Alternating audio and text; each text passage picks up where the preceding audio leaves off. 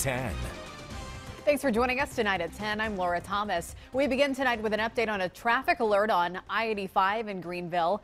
SCDOT has now reopened the I-385 northbound ramp near Woodruff Road for cars while they make repairs to the bridge, but detours are still in place for big trucks.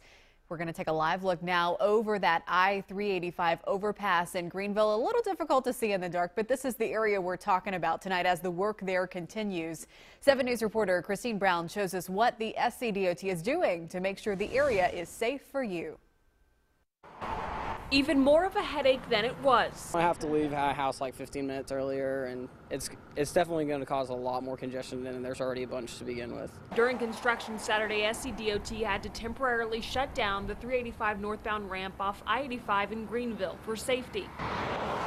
They found damage to a column on the ramp. There's going to be way worse traffic. The DOT worked to open the ramp for cars by Sunday evening. They wanted to make sure it was ready for Monday rush hour but repairs to fix the problem are still to come. Until all repairs are made, exit 51C will be closed to all trucks with more than two axles. The damage was found during heavy construction already underway on the I-85 I-385 interchange. It's been slowing down drivers there for weeks. It's crazy all the time, even in, in the morning and at 5 o'clock to 7 o'clock. It's just nuts because everybody's going to work in the morning and in the evenings there's so many restaurants around here and just this is the main flow for Greenville.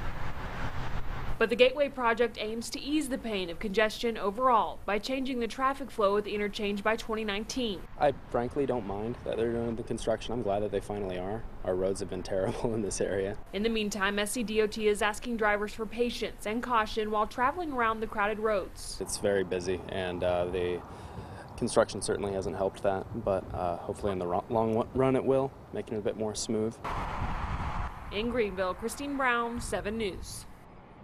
Again, it's the 85 385 interchange that we're talking about. It's now open tonight for cars.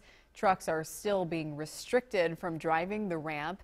Materials will be brought in tomorrow to, for making those repairs that the SCDOT says they'll start on that early this week. We have much more information on the detours you'll need to know about in case they make those repairs and close that area. We have those listed at our website at WSP.